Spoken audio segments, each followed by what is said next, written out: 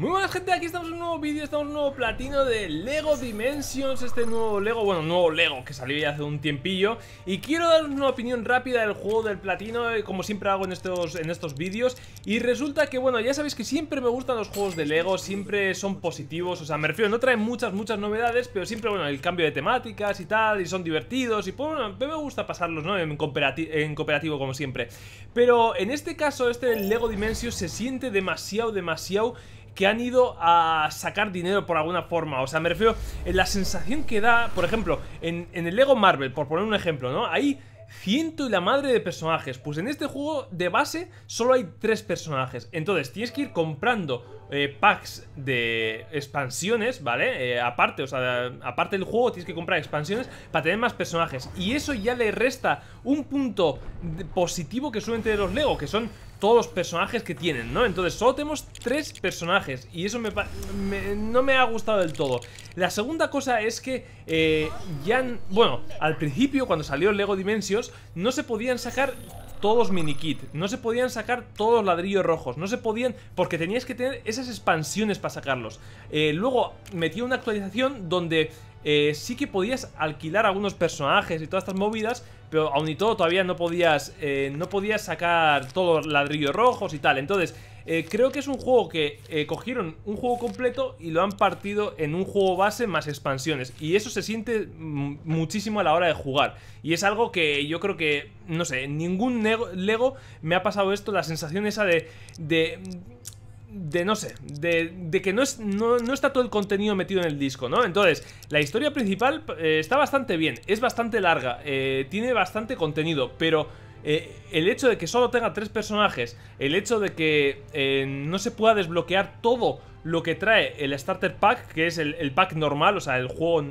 de base, no, no puedes desbloquear todo ahí, ¿no? Entonces, yo creo que te frustra, o a mí me ha frustrado un poco el, el no poder completarlo todo bien. No, sé cómo deciros, ¿no? Y el platino es tanto lo mismo. Es eh, fuera, no sé, saliéndose un poco de la regla general de los Lego, el platino es muy distinto a otros Lego y, no sé, no sé, es un poco extraño este Lego. Entonces, eh, bueno, ahora mismo está bastante barato. Bueno, ahí como veis, ahí está el platinito. Eh, es un poco raro este, este platino, este juego, pero, pero bueno, eh, se deja disfrutar. Eh, eso es otro Lego más, pero el hecho de que no puedas sacar todo al 100% y el hecho de que no puedas...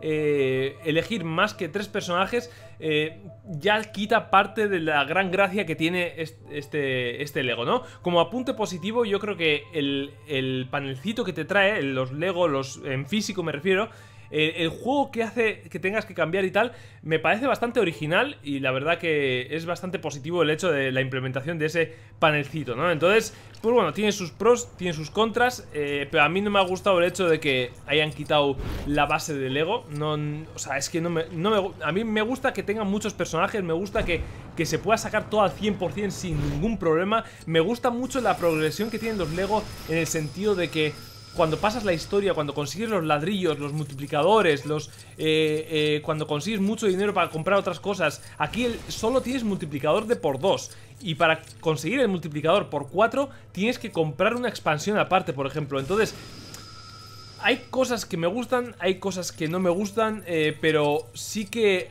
aun siendo un juego bueno, yo creo que la, han cagado completamente, la han pifiado eh, con el hecho de partirlo todo con expansiones. Una cosa es que el juego base fuera eh, completo, por decirlo de alguna forma, y los, las expansiones pues expanden la experiencia, pero es que se nota que necesitas muchas de esas expansiones para disfrutar el juego eh, en su esplendor. Entonces yo considero o he sentido el juego como si fuera, como si hubieran troceado el juego más que eh, hubieran sumado expansiones. Entonces, pues bueno, sus cosas positivas, sus cosas negativas. Eh, hoy en día está bastante barato el juego, con lo que yo creo que se puede disfrutar. Eh, yo he visto de segunda mano por 12 euros, 13 o 14, no sé cuánto era, así que se puede dejar disfrutar tranquilamente. pero bueno, que sepáis eso, que no es no es la sensación que te da comparado con otros Lego, no es la misma, porque está más recortado que otros Lego. Así que nada, sin más, espero que os haya gustado, si os ha gustado un like favorito os agradecería muchísimo y nos vemos en la siguiente. Un saludito y adiós.